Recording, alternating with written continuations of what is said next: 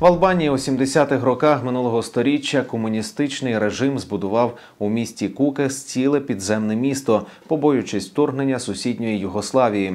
Тунелі ви- викопані вглиб на 30 метрів. Це майже 10 поверхів. Усередині могло поміститися до 30 тисяч людей.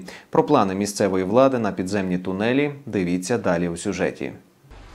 Ласкаво просимо до підземелля албанського міста Кукес. Це ціла мережа тунелів, що формує справжнє місто. Укриття збудували комуністичні лідери, побоюючись вторгнення з Югославії. Тепер ці тунелі хочуть перетворити на туристичний об'єкт. Місцева влада має намір їх відновити, щоб показувати гостям, як планували розміщувати людей на строк до півроку. Їх треба зберегти, але на це потрібні гроші. Особисто я хотів би, щоб вони завжди були готовими до використання. Хто знає. Підземелля в Кукасі було найбільшим оборонним укріпленням в Албанії. Воно йде вглиб на 30 метрів, це сім поверхів. Усі стіни бетонні завтовшки пів метра. Усередині могло поміститися до 30 тисяч цивільних. Підземне місто почали будувати в 70-х роках, а закінчили у 91-92. Працювали 22 роки. Там 5-7 кілометрів тунельних відгалуджень, що охоплюють усе місто.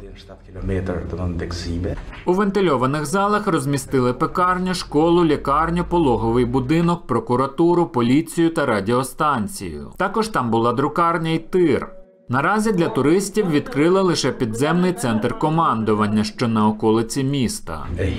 Ми бачимо велику зацікавленість, особливо іноземців, які не жили за комуністів, а також молоді, яка також нічого про це не знає і не жила за комуністів.